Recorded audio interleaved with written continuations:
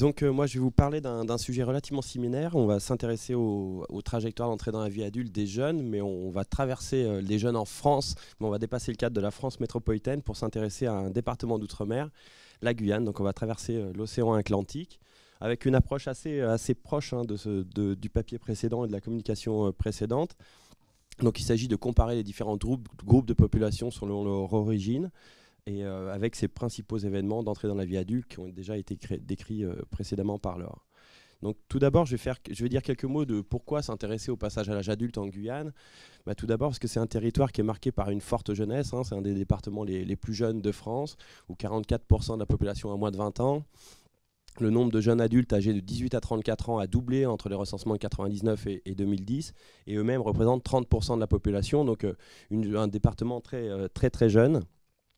Cette jeunesse est, confrontée à d'importantes difficultés socio-économiques, hein, et notamment le, taux de chômage est particulièrement élevé, puisqu'il dépasse les 30% pour les, les, actifs de moins de 30 ans, et que le niveau de diplôme est faible, très faible, plus de la moitié de la population est sans diplôme, hein, même pas le certificat d'études primaires. Donc des difficultés socio-économiques qui sont vraiment importantes et qui contrarient assez grandement ces trajectoires, ces modèles d'entrée dans, la vie adulte. Et enfin, on, va comparer plusieurs populations et en s'intéressant notamment au, contexte des immigrants étrangers qui résident en Guyane, hein, où c'est un département qui connaît une très forte croissance démographique. La population de Guyane devrait doubler d'ici 2030.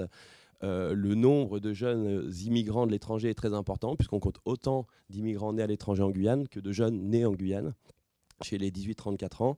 Donc une population euh, très variée, très cosmopolite, forte diversité culturelle. Et on a aussi 20% euh, des individus, des jeunes qui vivent en Guyane, qui sont des, jeunes nés en France métropolitaine et qui sont partis vivre en Guyane pour euh, trouver un emploi, et souvent un emploi très qualifié. Donc on va comparer ces différents groupes.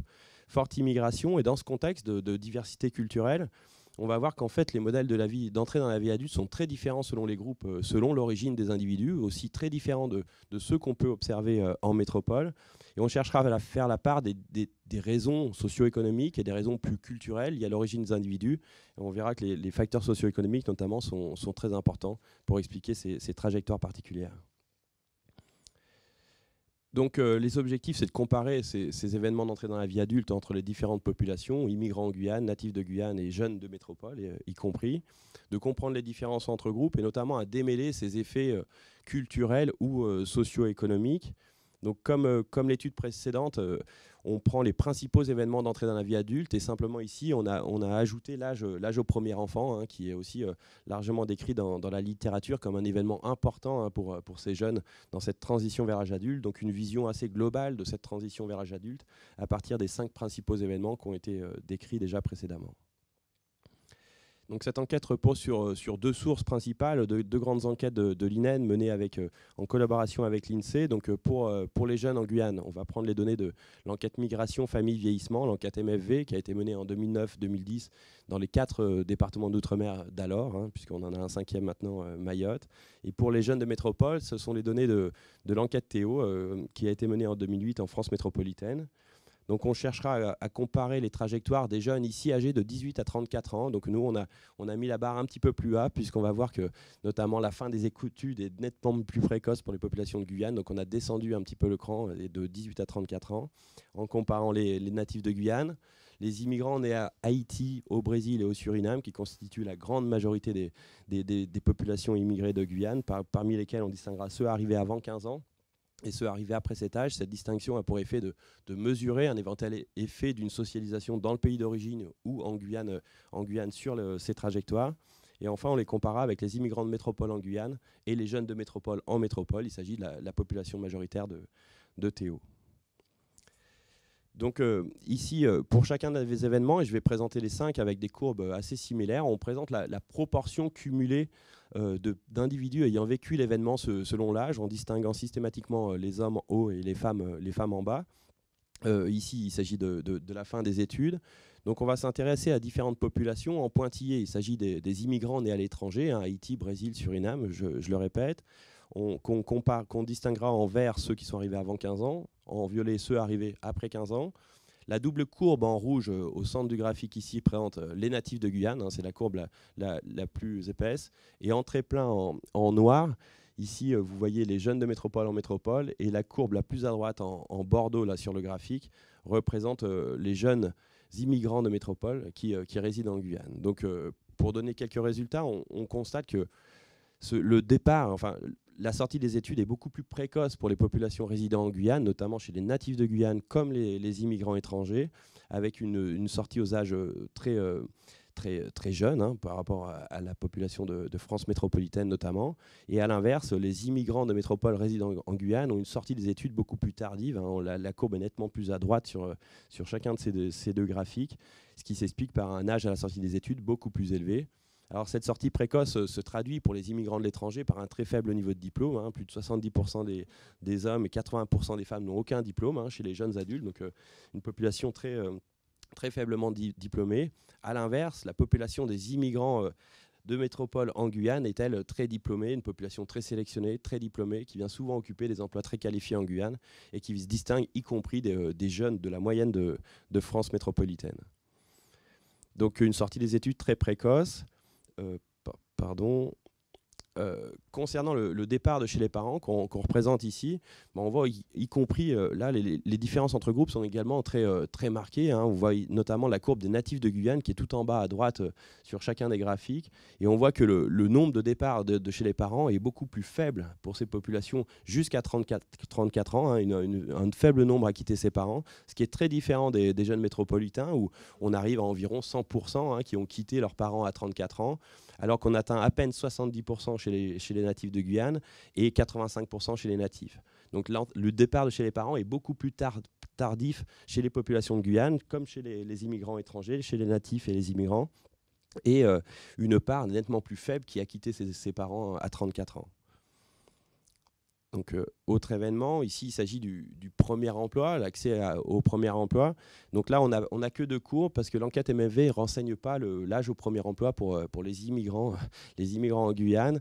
Juste, euh, on peut quand même dire que les immigrants nés à l'étranger qui résident en Guyane accèdent très peu à l'emploi globalement, hein, puisque seulement un tiers des hommes ont un emploi chez les 18-34 ans et seulement un quart des femmes. Donc globalement, un accès à l'emploi qui est très faible chez les populations immigrantes de l'étranger en Guyane.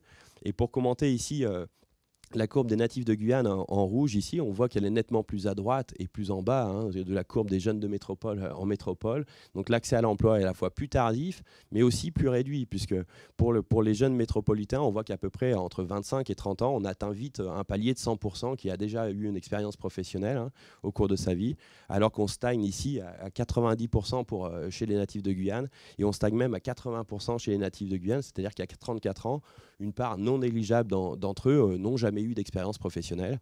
Et on peut penser que, comme la courbe est assez stable, que ça se maintient euh, encore euh, après cet âge. Donc un accès à l'emploi qui est à la fois plus rare et, plus tardif chez ces différentes, populations. Et en ce qui concerne l'union, donc là, il s'agit d'une union cohabitante. Donc, une union cohabitante pour nous, c'est le fait d'avoir partagé euh, le même logement que son conjoint pendant au moins trois mois, donc d'avoir partagé un, même logement pendant au moins trois mois.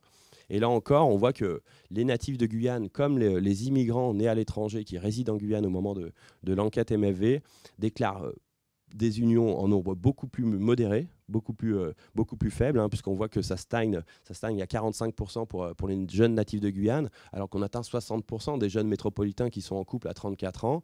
Et chez les natifs, c'est encore, euh, le, conseil est encore plus, plus faible, hein, puisqu'on n'atteint pas 40% des jeunes natifs qui ont déclaré une union à, 34 ans, alors que c'est également 60% des jeunes métropolitaines qui ont déjà connu au moins une union à cet âge. Donc un nombre d'unions déclarées qui est, assez faible et qui est déclaré plus tardivement, puisque vous voyez, pour les populations qui, résident en Guyane, y compris les immigrants de l'étranger, les courbes sont toujours euh, nettement plus à droite et en tout cas beaucoup plus basses que pour les jeunes de métropole, euh, quel que soit leur lieu de résidence.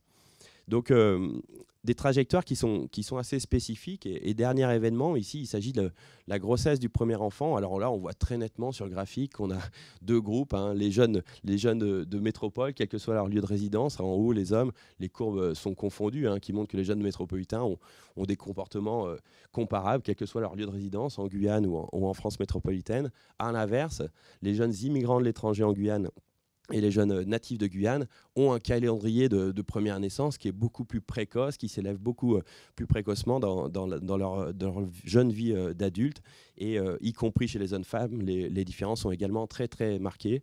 Donc première, un premier enfant beaucoup plus tôt pour ces différentes populations, hein, bien qu'on n'ait pas forcément déclaré une union cohabitante. Donc on va voir que ça amène des, trajectoires assez, assez particulières d'un groupe, groupe à l'autre. Alors juste pour donner peut-être un chiffre, par exemple chez les, natifs de Guyane, à 20-21 ans, la moitié des immigrants de l'étranger ont déjà eu un premier enfant chez les natifs de Guyane. Il faut attendre 20, euh, chez les immigrants de l'étranger, pardon. Il faut attendre 23 ans pour les natifs de Guyane et c'est 28 ans pour les jeunes métropolitaines. Vous voyez que les, âges médians sont vraiment très très différents entre groupes de population et qu'on a des modèles très euh, très spécifiques. Alors euh, juste quelques éléments de, discussion et de, de, synthèse. Donc on voit que les natifs de Guyane et les immigrants de l'étranger se distinguent par euh, des trajectoires très particulières. Hein. Ils ont des enfants particulièrement tôt, nettement plus tôt que la moyenne des jeunes en métropole. Ils arrêtent précocement leurs études. Ils cohabitent beaucoup plus longtemps euh, chez leurs parents, hein, puisqu'une part non négligeable vit encore chez ses parents euh, à 34 ans, et ils déclarent beaucoup moins d'unions cohabitantes. La combinaison de ces différents événements font que on a des trajectoires très particulières où on a un nombre non négligeable de ces jeunes qui ont eu un enfant sans forcément avoir quitté le domicile de leurs parents, alors que c'est un préalable qu'on constate euh, en métropole, mais également dans les autres pays européens, ni forcément terminé leurs études, et encore euh, sans avoir déclaré euh, une union cohabitante avec, avec un conjoint. Donc on a des modèles très particuliers qu'on a cherché à, expliquer. Et là, je vous passe les, différents modèles statistiques. Mais l'idée était de, faire la part des différences socio-économiques et, culturelles.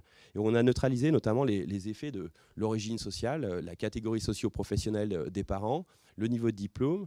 Et quand, on, raisonne à, à catégorie sociale des parents équivalente, à diplôme équivalent, le résultat principal, c'est que les différences entre groupes s'atténuent, s'estompe, mais il reste encore des différences importantes. Donc euh, on s'est intéressé à d'autres, variables un peu plus qualitatives, et en fait euh, on voit que dans les déclarations, euh, les contraintes socio-économiques, et notamment les contraintes matérielles, financières, sont largement citées par les jeunes adultes en Guyane comme une raison, comme un frein au départ de chez leurs parents, pour ceux qui vivent encore chez leurs parents et qui pensent encore y vivre l'année d'après. C'est également le cas pour la, sortie des études, la fin des études. beaucoup citent l'échec scolaire les contraintes financières euh, comme, euh, comme raison de, fin d'études, hein, alors que c'est très différent des jeunes en métropole qui généralement étaient arrivés au bout de leur cursus. Et ce qu'on peut retenir, c'est que ces jeunes en Guyane sont pour la plupart pas arrivés au bout de leur cursus d'études.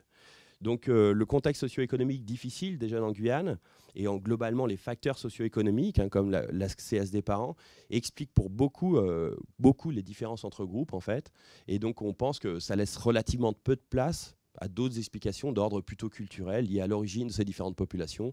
Et c'est vraiment les, contraintes socio-économiques et la précarité socio-économique des, jeunes en Guyane qui expliquent à, nos yeux euh, l'essentiel des différences.